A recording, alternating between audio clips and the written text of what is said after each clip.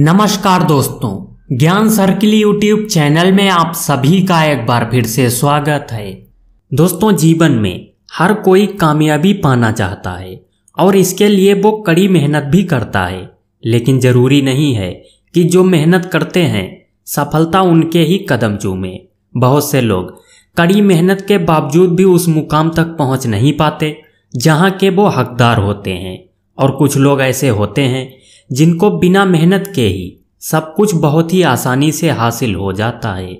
दोस्तों, समाज में एक अमीर और सफल बनने के लिए कड़ी मेहनत तो ज़रूरी है, लेकिन कभी कभी इंसान को कामयाब होने से रोकने में, कुंडली दोष और जाने अनजाने में किए गए पाप का भी बहुत बड़ा हाथ होता है। इस पाप का भागीदार बनने की वजह से, भगवान की कृपा पाने से वो व्यक्ति वंचित रह जाता है। दोस्तों, हमेशा हर इंसान का जीवन दो पहलुओं से जुड़ा होता है, और वो पहलू हैं अच्छा वक्त और बुरा वक्त। अगर आज किसी का भी बुरा वक्त चल रहा है तो एक ना एक दिन उसका अच्छा वक्त ज़रूर आता है, क्योंकि कहते हैं, हर रात के बाद सवेरा आता है। ठीक उसी तरह से बुरे समय का अंत भी होता है, और जीवन में नया सवेरा, यानी कि अच्छा दिन ज़रूर आता है। दोस्तों, इंसान के जीवन में जब अच्छा वक्त आने को होता है तो भगवान उसको संकेत ज़रूर देते हैं। ये संकेत बुरे और अच्छे वक्त दोनों के लिए होते हैं इन संकेतों को। कभी कभी हम चाह कर भी समझ नहीं पाते। जीवन में आगे बढ़ने के कई अवसर मिलते हैं, लेकिन निर्णय और नासमझी के चलते हमारे हाथ से वो मौका रेत की तरह फिसल जाता है।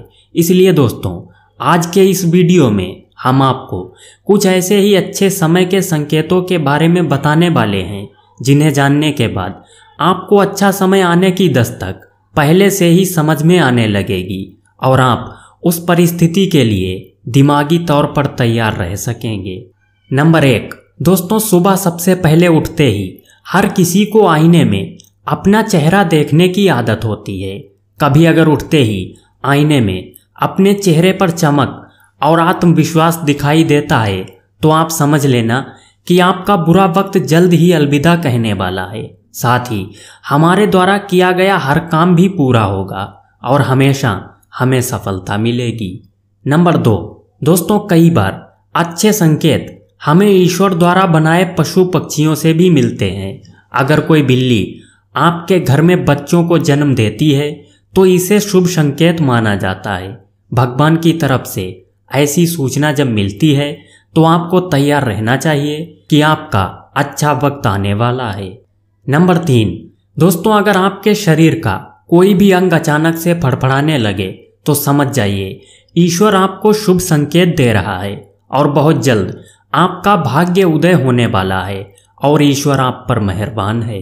नंबर चार, दोस्तों अच्छा समय शुरू होने का चौथा संकेत ये है कि आपके अचानक से आश्चर्यजनक खर्च बढ़ जाते हैं। लगातार बढ़ रहे खर्चों के बाद भी आपकी जेब में पैसों की कमी नहीं होती और आपकी सेविंग पहले से भी अधिक हो जाती है। तो ये ईश्वर की कृपा है और ये भी शुभ संकेत है कि आपको आने वाले जीवन में सब अच्छा ही देखने को मिलेगा। दोस्तों, आज का वीडियो बस यहीं तक। हम आशा करते हैं आपको वीडियो पसंद आया होगा। वीडियो पसंद आया है तो वीडियो को लाइक कर दीजिए। और रोज़ाना इसी प्रकार के वीडियो देखने के लिए हमारे ज्ञान सर्किल यूट्यूब चैनल को सब्सक्राइब करके बेल आइकन प्रेस कीजिए। दोस्तों, मैं मिलूँगा आपसे एक ऐसी ही इंटरेस्टिंग इन्फॉर्मेटिव वीडियो के साथ। तब तक के लिए जय हिंद, जय भारत।